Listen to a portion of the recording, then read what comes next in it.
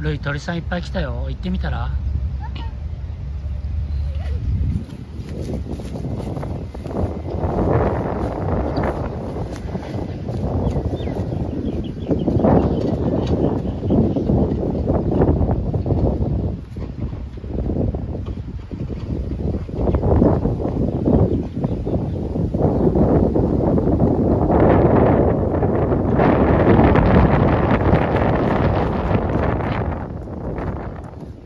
風強いね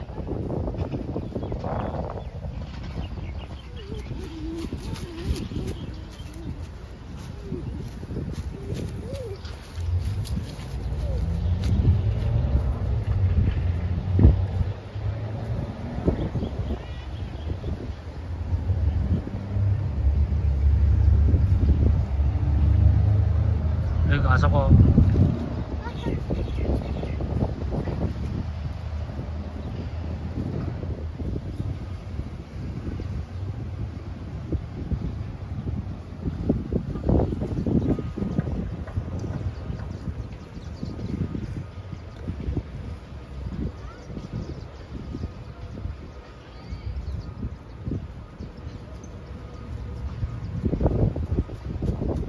たくさんいた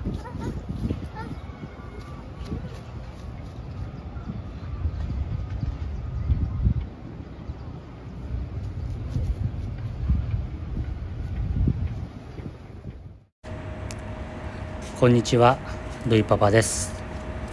今日はルイの近い将来。8月から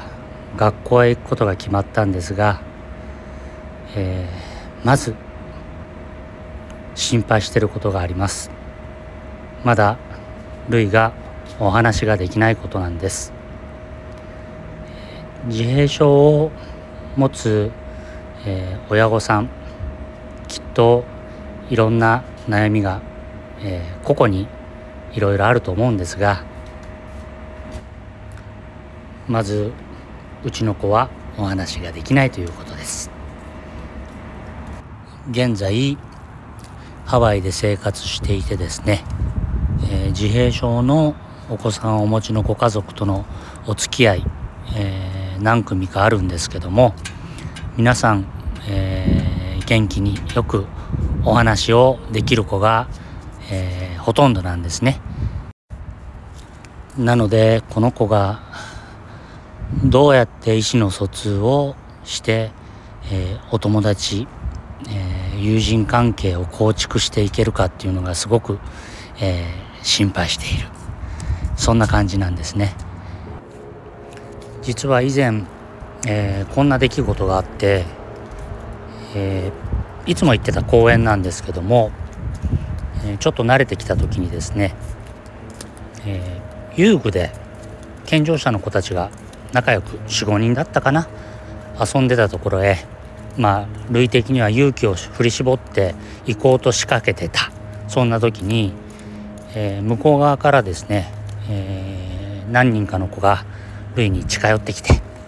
まあ一緒に遊ぼうよとか興味津々で近寄ってきたんですけども、えーまあもちろん話しかけ、えーできたんですが、えーお話ができない類にですね本当にあのよくあることなんですけども何も悪気のない、えー子供たちは「この子喋れない!」なんかちょっと変だよこんなリアクションをしてですねパーッと離れてったんですね。でそんな状況を、えーちょっと察したのかちょっとわからないんですけどルイはその場から、えーさっと、えーまあ立ち去ったというかね。そんなことがあったりしてなんかとっても寂しい思いをねちょっとしたとかそんなのがあってこの子が、えー近い将来学校に行きだした時にそんな思いをですねまたしないだろうかとかそんな、えーなんだろうな不安がよぎるというかね。なので今一生懸命、えー家族みんなでスピーチセラピー、えー通っているんですけども今後、えー、この子がですね、え、元気よく健康でたくさんお友達ができてですね学校が楽しいなって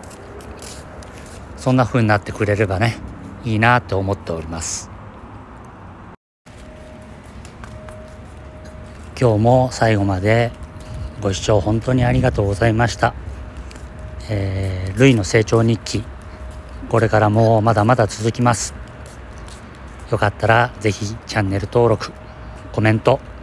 本当によろしくお願いいたします。それではまた。ありがとうございました。